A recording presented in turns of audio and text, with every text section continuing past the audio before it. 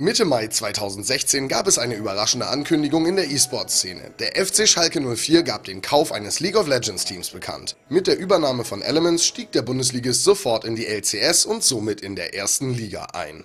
Um die ersten Ängste zu beseitigen, bat der Verein zu einer offiziellen Pressekonferenz.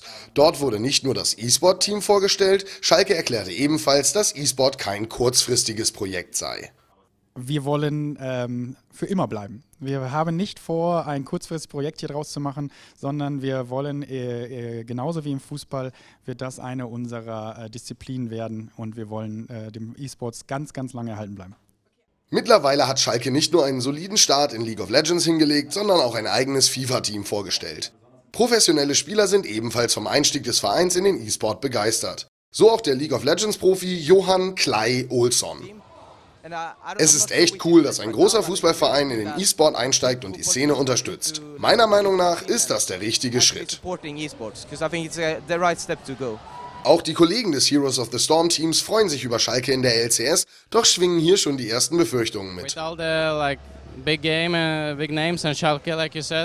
Mit all den großen Namen wie unter anderem Schalke, die in den E-Sport investieren, ist das ziemlich gut. Es bringt mehr Popularität und Geld in die Szene. Aber Teamnamen sind im E-Sport eine ziemlich große Sache, wie Fnatic, CLG, SK Gaming, TSM und so weiter. Ich will nicht, dass diese verschwinden, nur weil größere Vereine in den E-Sport einsteigen und diese aufkaufen bigger people with money comes in and buys them. Tatsächlich gab es schon erste Gerüchte, dass der FC Bayern München die deutsche E-Sport-Organisation SK Gaming aufgekauft haben soll. Gegenüber dem E-Sport Observer dementierten die Verantwortlichen diese Gerüchte. Allerdings hagelte es auch schon Kritik. Denn nicht alle sind vom Interesse der Fußballvereine am E-Sport begeistert. Der Smite-Profi Peter Dimi Dimitrov kritisierte die Präsentation des Bundesliga-Vereins in manchen Punkten. Wenn gehaucht ist, dann sieht es vielleicht ein bisschen doof aus. Auch außerdem das Corporate Design von vielen Vereinen ist jetzt noch nicht auf E-Sports angepasst. Das heißt, wenn man das Schalke-Icon, das Ganze drumherum ein bisschen revampen würde und sich Mühe machen würde, es ein bisschen mehr auf E-Sports anzupassen, ein bisschen moderner, ein bisschen auf Jugendliche geachtet, dann könnte ich echt denken, dass es echt was richtig Tolles wird. Die Stimmen aus der Community waren zwar überwiegend positiv, doch schwang auch ein negativer Unterton mit. Viele fragen sich, inwiefern klassische Sportvereine in den E-Sport passen.